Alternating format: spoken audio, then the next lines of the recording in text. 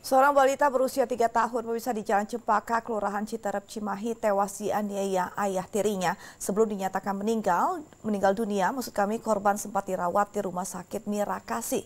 Kasus tewasnya balita tersebut saat ini ditangani oleh Polda Jawa Barat.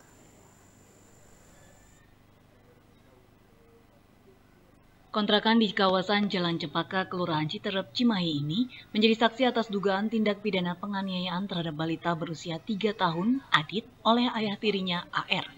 AR tega menganiaya Adit dengan cara menggigitnya, diduga kesal dengan korban yang sering menangis. Sebelum dilaporkan ke kepolisian Resort Cimahi, ibu korban mendapat kabar dari pelaku AR pada 22 Juli 2018, Adit muntah-muntah dan kejang. Adit kemudian dibawa ibunya ke rumah sakit untuk dirawat. Pada 26 Juli, Adit diperbolehkan pulang dari rumah sakit. Namun keesokan harinya, Adit sudah tidak bernyawa lagi. Menurut pemilik kontrakan, Ami, korban tinggal bersama dengan ibu kandungnya IR dan ayah tirinya AR, serta baru sebulan mengontrak.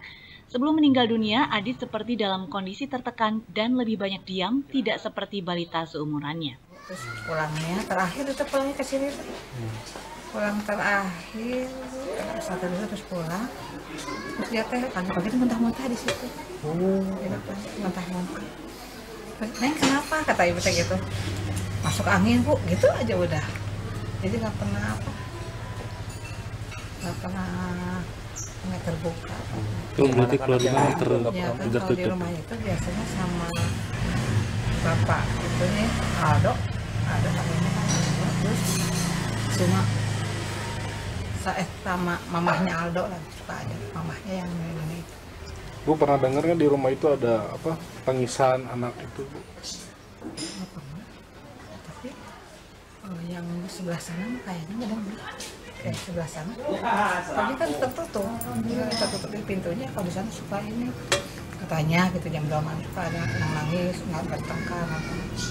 Korban sudah dimakamkan di Jakarta oleh ayah kandungnya, sedangkan pelaku penganiayaan yang juga ayah tiri Adit, AR, mendekam di Mapolda Jawa Barat untuk mempertanggungjawabkan perbuatannya menggigit Adit hingga meninggal dunia. Algi Muhammad Gifari, Bandung TV.